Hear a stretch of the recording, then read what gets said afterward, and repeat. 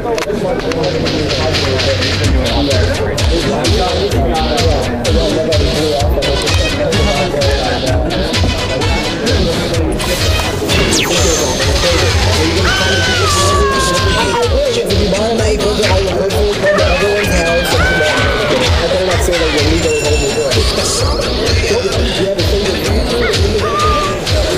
think for me, actually, the not even fair.